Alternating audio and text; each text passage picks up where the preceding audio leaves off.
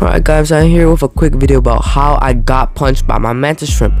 Yes, I got punched by my mantis shrimp. It happened while I was cleaning his tank.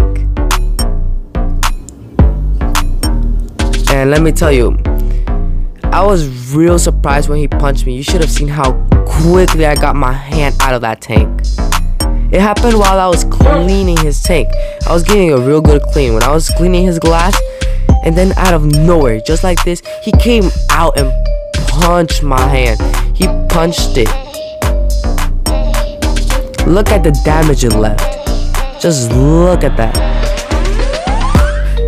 That's a lot of damage.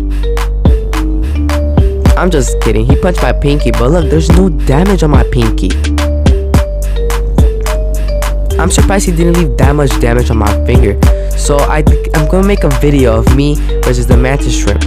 So leave a comment if you wanna see that. A little longer than a few minutes later. So yeah guys, I was cleaning his tank because it was real dirty. Now look how crystal clear his tank is. The whole backside was full of algae. That's why I had to clean it. If you like this video, there are more videos just like this on my channel. So make sure to go check them out because my mantis shrimp is really cool.